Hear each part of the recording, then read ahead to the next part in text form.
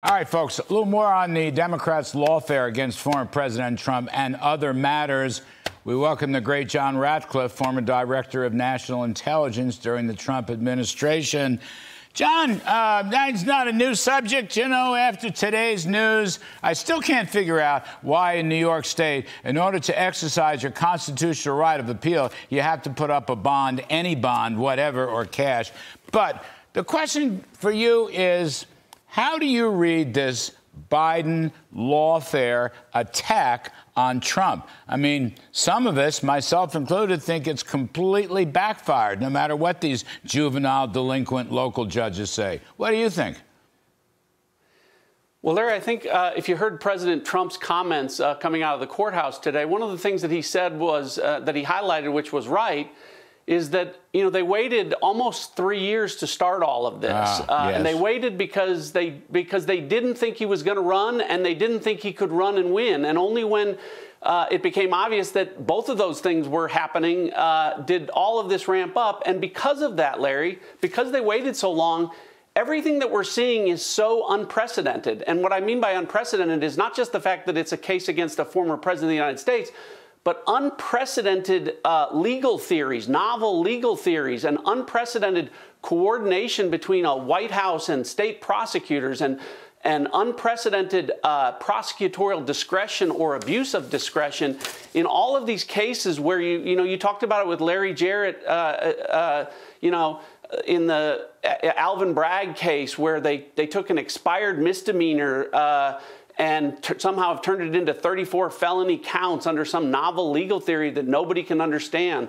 The case uh, with Judge or- Engoron, um, where no damages uh, and no victims, and yet a half a trillion dollar uh, uh liability finding uh, that was made, in fact, before there was any testimony in the case. And that's before you even get to the Jack Smith federal prosecutor uh, who has violated the federal principles of prosecution every single day. The principle that says that a prosecutor shall take no action, the, the action, the timing of which will impact an election, mm. and every single day, everything he does is to impact the election with the timing of his of his actions. So. The, the, my, my take on it, though, is the one thing I, I maybe would disagree with some of the uh, conversation is, uh, and even President Trump said that he thought these cases were making him more popular. Um, I don't think they're making President Trump more popular. I think they're they're opening people's eyes. He's more sympathetic as a as a figure who's being uh, unjustly prosecuted. Mm. What's making President Trump more popular is Joe Biden. Joe Biden's mm. uh, unmitigated failures, both domestic policies and foreign policy failures across the board, uh, are making President Trump more popular every day. People are longing for a return of those policies and the results that they had in the Trump administration. And I don't see that changing over the next uh, seven, eight months before the election. Well, you know, um, you know, John, the other thing that's interesting to me, even today in his press conference, Mr. Trump's uh, press conference outside the courtroom, which, by the way, he used no notes, no nothing. He just spoke and took questions uh, for anybody that doubts his energy and, and uh, cognitive acumen. But he also, John Ratcliffe, worked in the issues the border, the inflation, drill, baby, drill. He mentioned Afghanistan. I mean, I think that's pretty smart, you know? In other words, not only the legal protests and all the juvenile delinquent judges in New York State, AGs, and all that ridiculous crowd, but he got in the uh, key issues that you just referred to, where Biden is flunking. Now, I think that's pretty darn smart by our former boss. Well, I think it is because what it does is, you know, uh, this election, unlike 2020, uh, allows for a side by side comparison. Um, for the critics of Trump who didn't like certain things about him or the way he went about business, um, you know, didn't really know what they were getting with Joe Biden. We were told what Joe Biden was going to deliver, But now everyone sees uh, that he has been a miserable failure on every single one of those issues that you talked about, Larry. And I, and I, mean that in the sense of, you know, Americans suffering here at home and Americans standing and America's allies suffering abroad because of the foreign policy failures that have, have continued.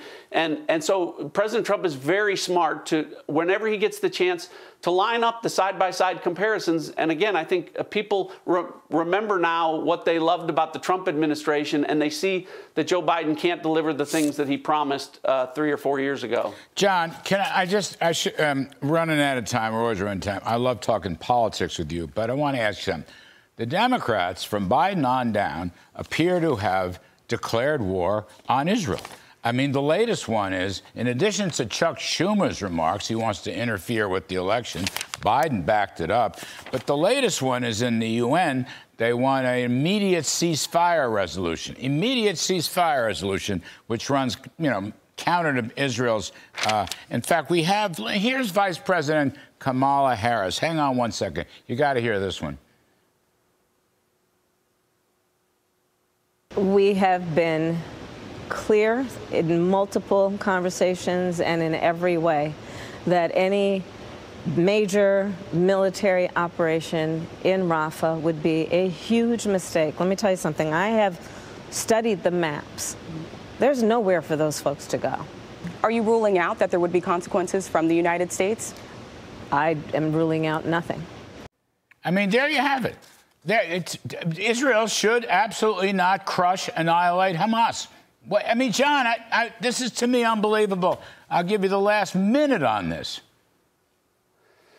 Well, Larry, I think that you know uh, the contempt for Israel that was uh, uh, hiding beneath the surface is now open and notorious. You talked about the UN Security Council action today. Absolutely stunning that the U.S. would abstain on a resolution that called for a ceasefire that was not conditioned on the release of hostages. That is an absolute shift uh, in policy. And look, you know, I, I think that uh, you know, the United States should not be interfering in Israelis' military operations, as Kamala Harris just uh, uh, suggested that we should be. We shouldn't be interfering in their political processes, like you mentioned uh, Chuck Schumer doing, calling for elections.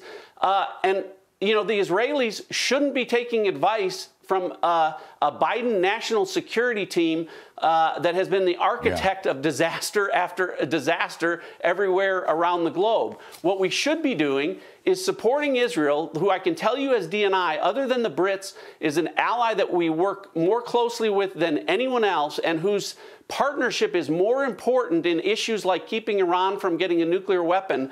Uh, those are the kinds of things why we should yeah. be supporting their efforts to go into Rafah to wipe out the same four battalions, Larry, the same four battalions that didn't just kill Israelis but murdered 32 Americans right. and are still holding at least 10 American hostages. That's key. That last point, last sentence. Anyway, John Ratcliffe, former director of national intelligence, thank you, sir. We appreciate your wisdom.